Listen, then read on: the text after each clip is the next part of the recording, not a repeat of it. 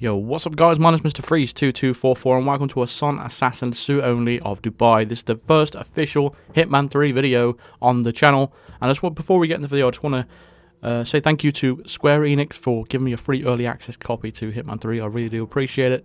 So for this particular video, we're going to use the basic equipment. You're obviously going to have to play this game at least one mission once, otherwise to skip that opening intro and then you first get to the atrium lobby. That's the start location we're going to use so we can use our equipment.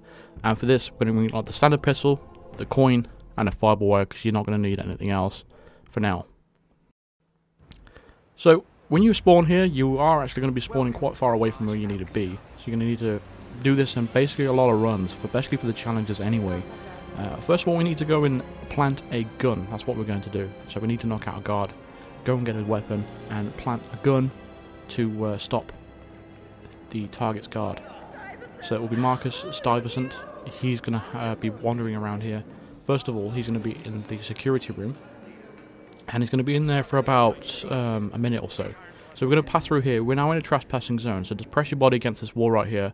This guard in front of us is going to be walking around here momentarily.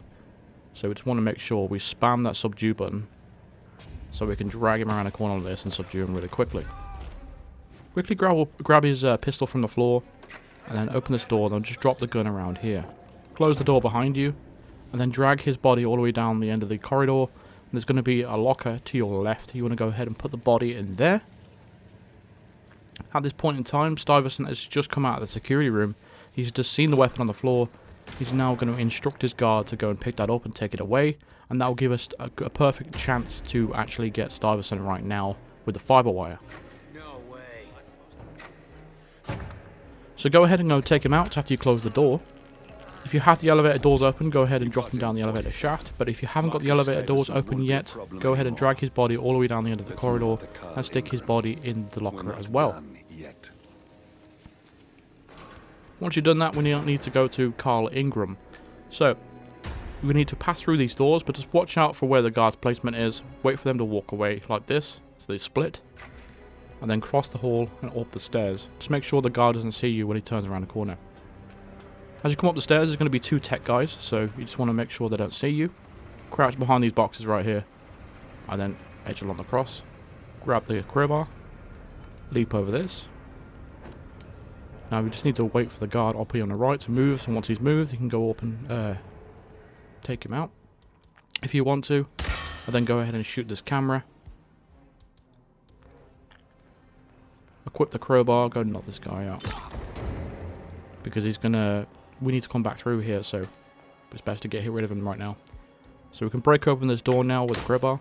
We don't have the keycard right now. The, the keycard is actually belonging to a guard down the end of the corridor, so we don't need it for now, especially when we have the crowbar. But once we're up here, we're going to pass into this kitchen, equip the crowbar again, knock out this guy right here, grab the rat poison, start this conversation in the kitchen, just to get things moving. And while that's happening, we're just going to pick up the stuff that he drops on the floor and then drag his body into the crate here. So you are unlocking a couple of challenges here as well because some of the challenges are like well, pick up this key, pick up this stuff, pick up that. So you are checking off some of these uh, off the stuff as well in terms of challenges and stuff.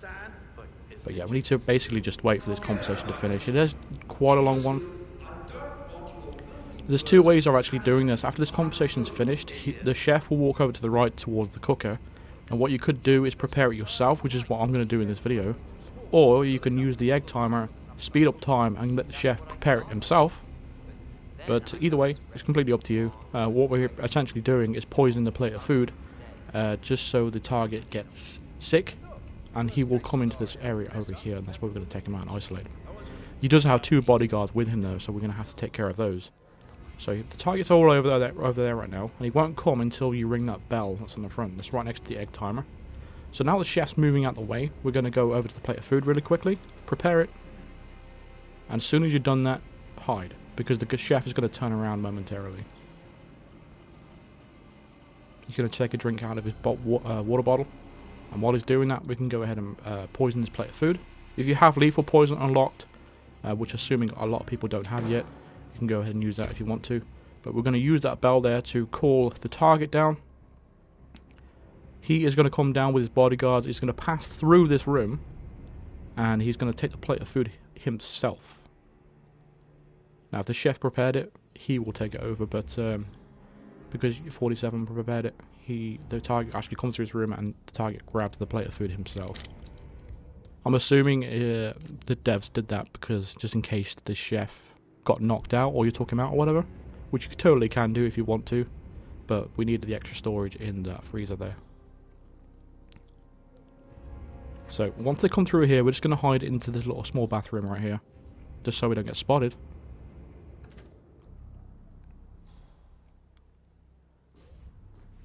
And we just need to be patient for this bit.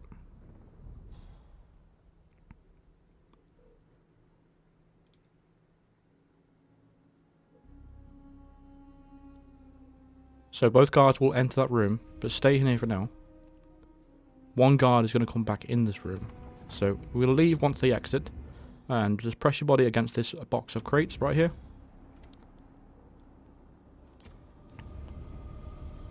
Go along to the left. And as soon as he comes near you, go ahead and subdue him. If you don't want to do that, just go around, go around the boxes and then subdue him from behind. Because he's going to stand next to that door. That's where he ultimately is going to be. So we're just going to dump his body in the crate there. And the target's actually going sitting down now to eat some food. So again, we're just going to wait here momentarily. And once he's poisoned, he's going to come back through this room and go into that bathroom we waited there previously. The guard is going to follow him as well, so he just needs to watch out for him. And we actually do need to knock him out beforehand. Otherwise, obviously, we can't get into the bathroom, because he stands outside the bathroom Apologise if you can hear my dog. He always does this when I'm trying to record a video. Alright. So he now he's gone past, we're just to equip the crow crowbar. And then go ahead and knock him out. You can leave his body there because no one else comes through this section. And then you can go ahead and drown the target. So you can actually take out another one of these challenges of... Um, I can't remember what it's called now, but there's a challenge that involves drowning one of the targets. So, there we go. Hold my hair. There you go. Thanks for the pop-up. Right, so now we're going to head to the exit. We're done with this. There's another challenge popped off as well. Someone could hurt themselves, which is an accident kill. So we've got two birds, one stone there. Now, if you have the elevator doors open, you see that little padlock at the end of the corridor. If the elevator doors are open for you, you can go ahead and uh, exit that way. But if not, you just have to come back and retrace your steps. Just watch out for the tech guys over here. They don't spot you. Come down these stairs again. We're just going to wait for the guard to move.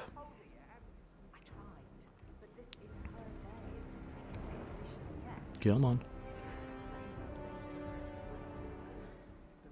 Just have to make sure make sure we time this right. See, these shortcuts in this game are a really uh, are a godsend, really, because if you are if they are open, they do. I mean, we could be we could have exited the mission by now if we had the elevator doors open, but because we don't, we have to go and retrace our steps just like we're doing right now. Like I said, there's an elevator door right there we could take as well. But, um, you know, if you don't have these shortcuts open, which I highly recommend you doing um, before you do any of these challenges, because it just makes it a lot easier for you. Oh, I don't need to go down these stairs. I'm still getting familiarised with the map. But uh, I'm slowly but surely starting to learn everything. But yeah, I do highly recommend opening up all the shortcuts. And if you do need a guide on all the shortcuts, just let me know in the comments. I will be sure to record all those. I think there's six on this map, including ladders, elevators and stuff like that. There's also a shortcut right at the start, so if you come down here, just to your left, there's going to be like a security door. It's only unlocked from the other side, so you have to make your way around there, then you can open that for future playthroughs, and they're always open after that. So whenever you replay this mission, those elevator doors and these locked doors are always going to be open from then on out. So you only have to do these once because they're related to challenges. But that's essentially it for Dubai. Um, it's fairly straightforward. I don't really see how you can mess this up really that much. I think I'm pretty, pretty pleased with this one. Um, the only thing, or the only way I'll probably make this a little bit better is if I had a lethal syringe, I could syringe the target at the, at the start, and I could use lethal poison on the second target. That's if I had those items unlocked, which I don't at the moment. But for the Silent Assassin suit only runs, I'm always only going to use the default stuff anyway, so you don't have to worry about equipment wise because everyone's going to have the stuff up able to show. So that's going to do it for the Dubai mission. So hopefully you've enjoyed that little uh, first video of mine on the channel. I really do appreciate all the support I've had recently. It's, it's been crazy. Again, a shout out to Square Enix for the free early copy of Hitman 3. I really appreciate that. And a shout out to all my Patreons as well, and all the Psycho Assassin members of the channel. If you want to become a Patreon, the link is in the description.